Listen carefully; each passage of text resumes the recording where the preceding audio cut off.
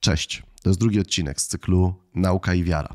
I to są takie krótkie filmy, które chciałbym, żeby pomogły nam wierzyć mądrzej i mocniej. Oczywiście, jak ktoś bardzo chce i się uprze, to może wierzyć słabo i głupio, ale lepiej jest wierzyć mądrzej i mocniej. To są takie filmy, które mają uchylić to myślenie. Niektórzy z nas odczuwają takie napięcie albo strach, że między nauką a wiarą istnieje pewien konflikt, że między tym, co jest, y, w co wierzymy, czego dowiadujemy się z Biblii o Panu Bogu, a tym, co możemy wczytać w książkach naukowych, istnieje pewne napięcie. Y, to napięcie generuje konflikt i i to, co dzisiaj nauka zaczyna nam mówić o świecie, jest zagrożeniem dla naszej wiary. W poprzednim odcinku starałem się powiedzieć, że tak absolutnie nie jest. Dzisiaj chcę opowiedzieć o tym, spróbować pomóc nam zrozumieć, czym jest nauka. Nie dla wszystkich z nas to musi być oczywiste, y, bo zrozumienie tego, czym jest nauka i jakim posługuje się językiem, a tak naprawdę co nie jest nauką, pomoże nam też spojrzeć na ten konflikt, pozorny konflikt między nauką a wiarą z troszkę innej perspektywy. Więc po czołóweczce dzisiaj o tym, że alternatywna nauka nie istnieje.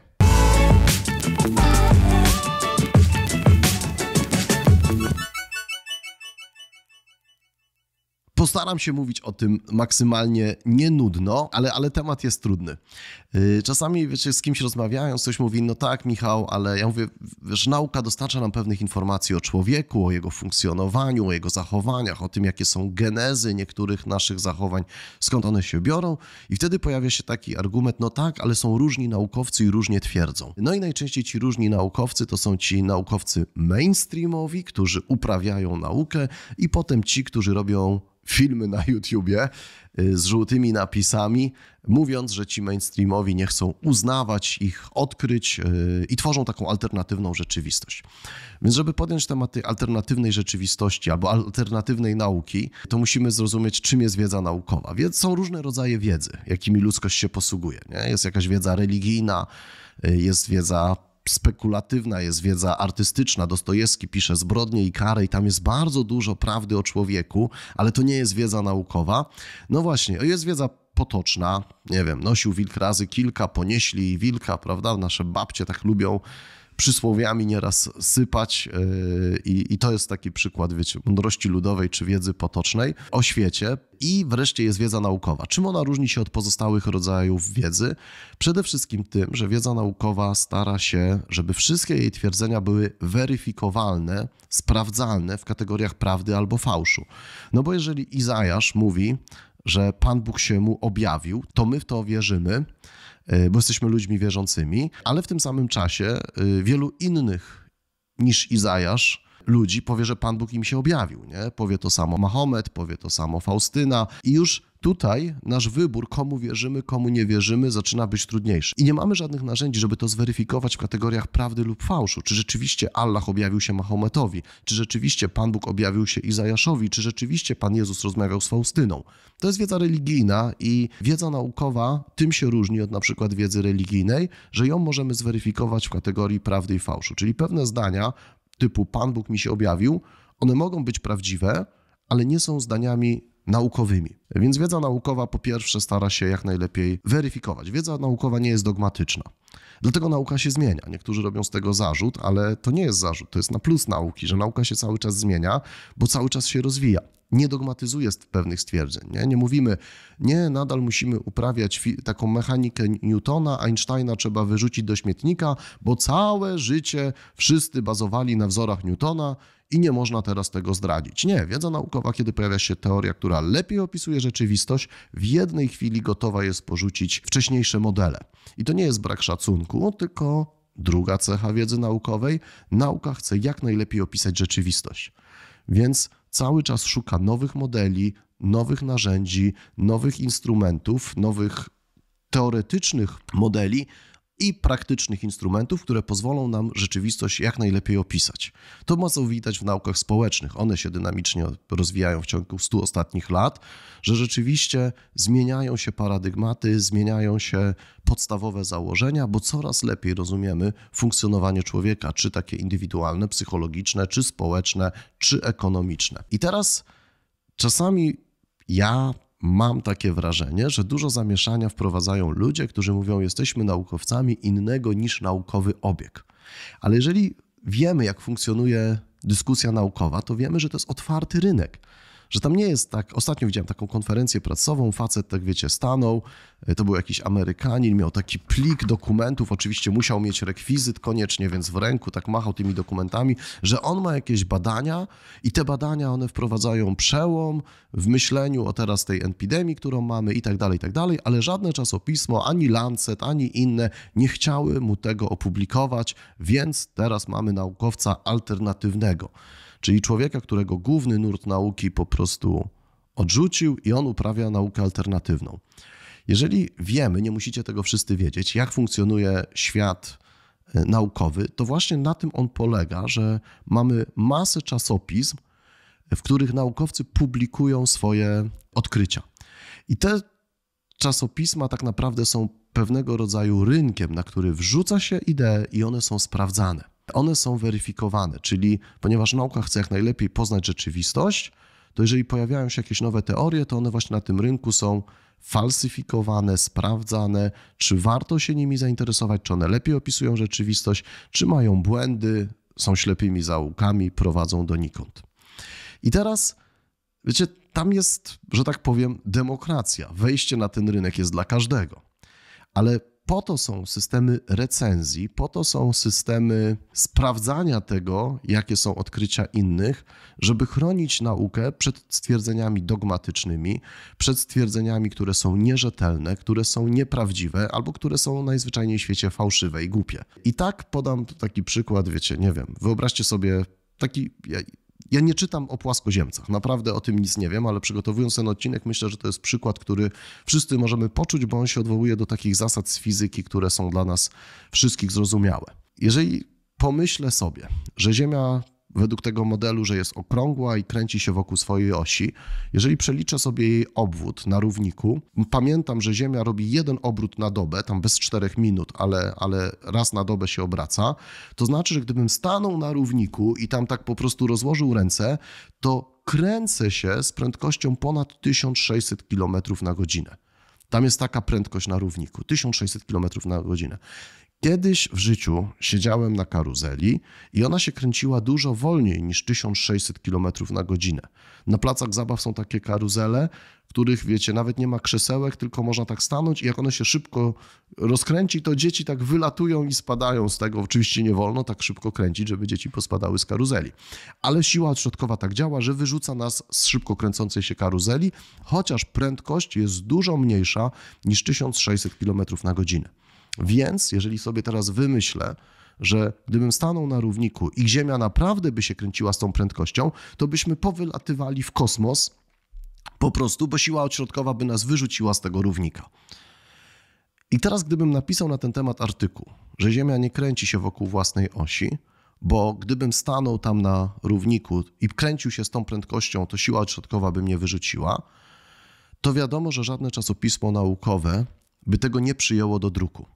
Ale to nie oznacza, że ja teraz mogę zwołać konferencję prasową i powiedzieć: Mam tu takie odkrycie i taką obserwację, ale świat nauki zrobił pewną zmowę i nie chce tego opublikować. Oni chcą ukryć przed wami tą wiedzę, ale pomyślcie chwilę, gdybyście na równiku stanęli i Ziemia rzeczywiście ma taką prędkość, to siła odśrodkowa by was wyrzuciła w kosmos, to tego artykułu nie opublikowano nie dlatego, że on jest mądry, ale naukowcy chcą to ukryć przed nami, tylko dlatego, że tam siedzi właśnie recenzent. Najczęściej to są, wiecie, profesorowie, utytułowani ludzie, ale tą teorię potrafiłby zrecenzować średnio ogarnięty, nie wiem, licealista w pierwszej klasie, który mówi: Ludzie, po pierwsze jest jeszcze siła grawitacyjna, która nas przy, trzyma przy tej Ziemi, i dlatego w Australii ludzie nie spadają. Żenujące, że to mówię, ale naprawdę, no, to jest poziom alternatywnej nauki. A po drugie, Wzór na siłę odśrodkową to jest m razy v kwadrat, czyli masa razy prędkość do kwadratu, podzielone przez promień Ziemi. A promień Ziemi wynosi ponad 6000 kilometrów, czyli ponad 6 milionów metrów. Na karuzeli ile jest promień? 2-3 metry, a tu mamy 6,5 miliona metrów. Niecałe. 6,5 miliona, 6 tam 400. Więc sobie wyobrażacie, jak podzielimy tą siłę odśrodkową, jaką by nie była, przez 6 1,4 miliona metrów, to ta siła odśrodkowa jest nieistotna w tym miejscu i jeszcze pomniejszona przez siłę grawitacyjną.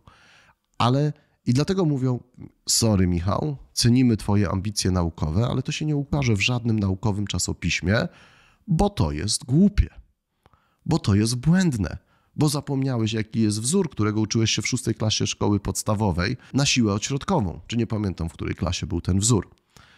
I w tym sensie nie istnieje alternatywna nauka. Oczywiście nikt nie chce być, wiecie, uprawiać wiedzy potocznej, albo wiedzy dogmatycznej, albo wiedzy ezoterycznej. Ezoteryczna to jest taki rodzaj wiedzy, który jest objawiony tylko wybranym. Pojutrze będzie koniec świata. Prawda? I teraz mam wiedzę tajemną, Mogę to napisać, wiecie, do 10 kosmologicznych czasopism, że pojutrze będzie koniec świata, ale tego twierdzenia nie da się zweryfikować w kategorii prawdy lub fałszu, więc ono nie jest naukowe. Ale nikt nie chce być, wiecie, jak szaman albo jak babcia, która rzuca przysłowiami. Każdy chce być naukowcem. Więc ludzie, którzy mówią twierdzenia, które są do bólu nienaukowe, teraz będzie koniec świata. Albo na przykład lekarze, tak, którzy y, nie przestrzegają metodologii nauk medycznych, y, nie rozumieją, jak działa statystyka i swoje wnioski chcą publikować, ale tam właśnie popełniają błędy na poziomie licealisty, który nie pamięta, jaki jest wzór na siłę odśrodkową, mówią: Nauka odrzuciła moje tezy. Nie. Nauka jest otwartą dziedziną, w której można powiedzieć wszystko, ale wszystko jest weryfikowane.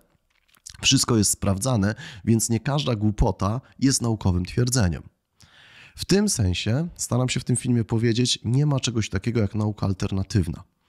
Dlatego, że nauka nie jest dogmatyczna, przyjmuje każde twierdzenie, ale nauka też weryfikuje każde stwierdzeń i część zostaje zweryfikowana negatywnie, zostaje sfalsyfikowana i odrzucona jako wybitnie nienaukowe.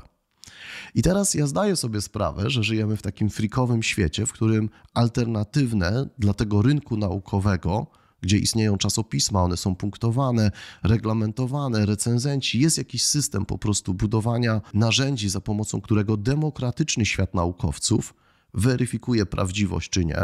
Większość naukowców chce odkryć prawdę, więc kiedy pojawia się lepsze wyjaśnienie, to nie są przywiązani do starych wyjaśnień, tylko biegną za tym nowym, mówią: Wow, ta teoria otwiera nowe możliwości badań, pozwala nam lepiej zrozumieć funkcjonowanie człowieka, lepiej rozumiemy jego geny, biegniemy za tym, bo to pozwala nam tą liczbę rzeczy, na które nie znamy odpowiedzi, zmniejszyć choć odrobinę, poznać nowe odpowiedzi i lepiej zrozumieć świat czy człowieka.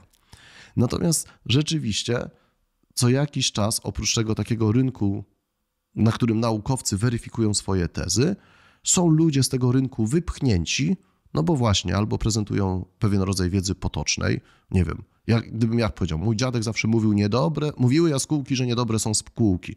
Jeszcze raz podam taki przykład, na przykład w ekonomii, wiecie, są y, teorie przedsiębiorstw, jak, dlaczego ludzie akumulują kapitał, dlaczego ta własność jest rozdzielona, czy to jest, y, do jakich modeli to zarządzania prowadzi, kiedy własność, y, nadzór właścicielski jest oddzielony od sprawowania funkcji menedżerskiej, no bo jak jest firma na giełdzie i wszyscy są, i właścicielami są drobnymi akcjonariuszami, to menedżerowie za, za, zarządzają firmami wartymi miliony czy, czy, czy setki milionów, czy miliardy dolarów wielkimi korporacjami, ale nigdy nie spotkają właścicieli, bo to są drobni ciułacze, którzy inwestują swoje pieniądze na giełdzie albo fundusze powiernicze i tak dalej, i tak dalej, więc funkcja menedżerska rozdzielona jest od właścicielskiej. Ludzie to badają, znają się na tym, spędzili na tym całe życie, a ja mogę wysłać do jakiegoś Economic Journal, czy Harvard Business Review, czy gdziekolwiek artykuł pod tytułem Mówiły jaskółki, że niedobre są spółki, wyrzucą to mi oczywiście do śmietnika, bo powiedzą fajna wiedza, Michał, super, super, ale potoczna, a nie naukowa. Przedstaw tam jakieś ekonometryczne modele, które falsyfikują, nie wiem, główne tezy tych modeli, które dzisiaj są obowiązujące. Oczywiście nie umiem tego zrobić, więc obrażę się na cały świat i powiem alternatywna nauka. Wiecie, w Tunezji chyba w 2017 roku facet złożył do obrony doktorat, który udowadnia płaskość Ziemi i na przykład taką tezę, że gwiazdy, gwiazdy mają dwie funkcje według Koranu, po pierwsze być ozdobą firmamentu, po drugie gwiazdy są kamieniami, którymi Pan Bóg będzie wrzucał w diabła. Czyli gwiazdy to są kamienie do ukamienowania demonów. Fajnie, tylko to jest nieweryfikowalne naukowo. Tego nie da się sprawdzić. I dzisiaj wiecie, żyjemy w świecie, w którym oprócz tej takiej agory naukowego dyskursu, od tego miejsca, gdzie ludzie rozstrzygają, YouTube albo inne jakieś media są, tworzą taki pozór istnienia alternatywnej nauki. Ale to nie są twierdzenia naukowe. I nawet jeśli ten facet ten doktorat w tej Tunezji obronił i znajdzie się jeszcze jakiś pięciu frików, w różnych krajach jest różna reglamentacja do nadawania systemów naukowych, ale rzeczywiście jeżeli w jakimś kraju jest tak, że jak się zabierze 10 profesorów, to mają tytuł, prawo nadawać tytuły doktora y, kroju i szycia bez żadnej weryfikacji, to okej, okay, istnieje sobie taki świat, który sprawia pozory świata naukowego z własnymi instytutami, z własnymi czasopismami, z własnymi muzeami, y, z własną alternatywną rzeczywistością. Natomiast ten świat nigdy nie wrzuca się na to pole weryfikacji prawdziwej nauki i nie dlatego, że, że ta nauka tego nie chce przyjąć, tylko dlatego, że tam po czterech pierwszych zdaniach widać, że to, co generują, co produkują, z nauką nie ma nic wspólnego, ale jest to pewien rodzaj wiedzy spekulatywnej, artystycznej, religijnej, dogmatycznej, czasami ezoterycznej. Tego się nie da zweryfikować. Więc w tym sensie to, co nie jest naukowe, to nie jest nauka alternatywna, tylko to jest po prostu nie nauka. I to sobie może istnieć, ale to czasami podgrzewa ten konflikt między nauką a wiarą.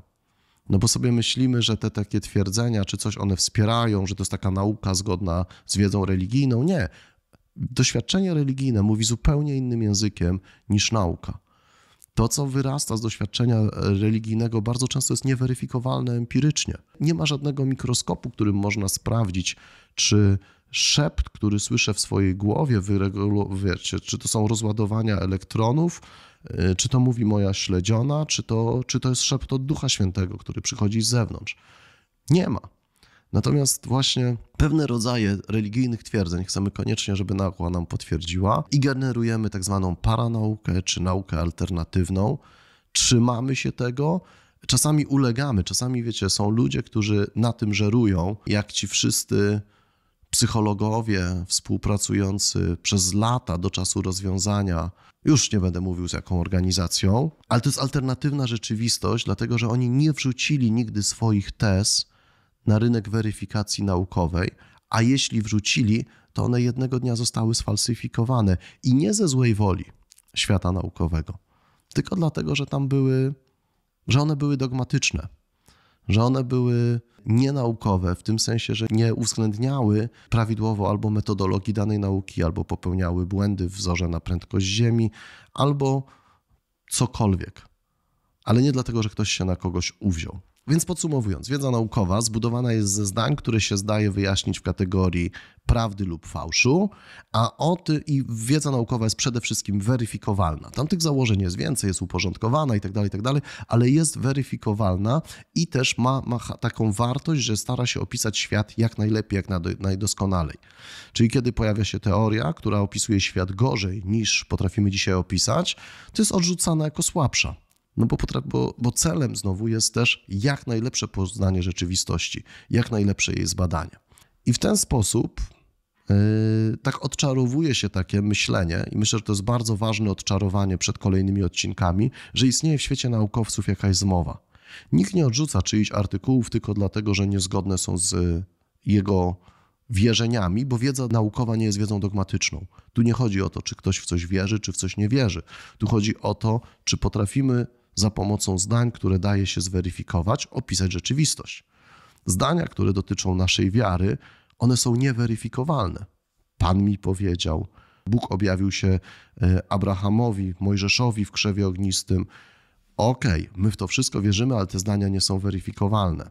Natomiast nauka jest to opis świata za pomocą zdań, które są weryfikowalne, i w tym sensie nie ma między nimi konfliktu, bo to jest zupełnie inny rodzaj wiedzy. Natomiast wszędzie tam, gdzie ktoś używa zdań niesprawdzalnych, czuje, że niedobre są spółki. Tak mi mówiły jaskółki. Albo na rękach mamy takie małe banieczki, one są niewidzialne duchowo i w nich mieszkają anioły. Mogę sobie wymyślić cokolwiek. Okej, okay. to jest jakiś rodzaj wiedzy potocznej, ezoterycznej, odjechanej nierzadko, Ale kiedy próbujemy je ubrać, a tak jak powiedziałem na początku, ludzie odrzuceni przez świat nauki bardzo często robią alternatywną naukę, to nie jest nauka. Nazwijmy to po imieniu. To, co nie zjawiło, nie pojawiło się w lancecie, to może być jakiś rodzaj dogmatyzmu, to może być jakiś rodzaj wiedzy spekulatywnej czy artystycznej, ale nie spełniło kryterium, które pozwoliłoby powiedzieć, że to jest naukowe. Nie wiem, czy to, co mówię, ma dla Was sens, ale wiem, że to jest dość ważne ze względu na to, o czym będę chciał mówić za 3-4 odcinki w tej serii, kiedy już zajmiemy się teoriami, które pojawiły się 20-30 lat temu, które pojawiły się rok, dwa lata temu, żebyśmy zrozumieli, że to nie jest tak, że każdy, kto ma jakiś tytuł naukowy, coś sobie wymyśli, coś powie i to jest równoprawny pogląd. Nie. W nauce panuje konsensus co do pewnych zdań i odrzucenie pewnych twierdzeń przez świat nauki nie jest wyrazem złej woli albo dogmatyzmu naukowców, ale raczej jest y, wyrazem tego, że te tezy y, są nienaukowe. Zostały właśnie sfalsyfikowane, odrzucone, zweryfikowane negatywnie jako albo fałszywe, albo błędne metodologicznie, albo po prostu nieweryfikowalne. I potem ktoś mówi, nie, nauka, istnieje nauka alternatywna. To nie jest nauka. To może być bardzo ciekawa religijna refleksja, ale to nie jest nauka. Trzymajcie się ciepło. Dzięki za Wasze lajki, za Wasze suby i za Waszą obecność na tym kanale. Do zobaczenia.